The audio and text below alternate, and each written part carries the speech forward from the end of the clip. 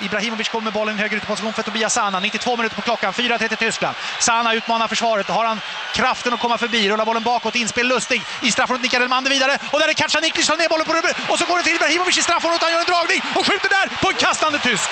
Kommer svenskarna igen, Källström.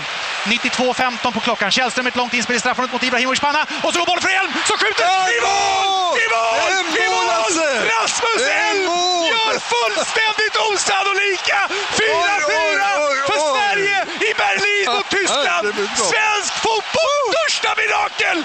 Jag banne mig någonsin Ralf! Det är fullständigt otroligt att Sverige kvitterar till 4-4 efter 92-30. Det är ett av idrotten, Ralf, det är, det är, det är osannolikt! Blås av!